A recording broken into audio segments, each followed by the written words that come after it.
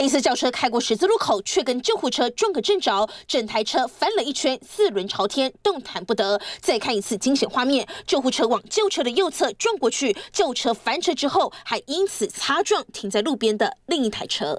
要碰到路边一部要礼让救护车的小刺客。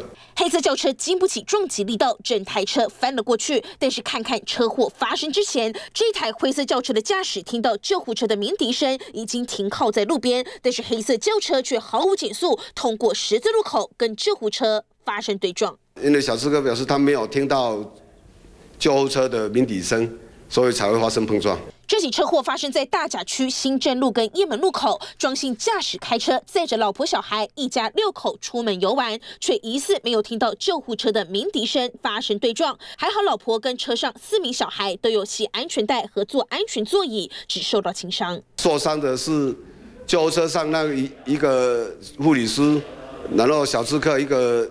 大人跟三个小朋友，而救护车当时正要去载病患就医，还没抵达目的地就发生车祸，车上的一名医护人员受到轻伤。这起车祸总共造成五个人受伤，还好都没有大碍。只不过轿车驾驶没有礼让救护车，在二二八连假第一天就出车祸，全家出游败兴而归。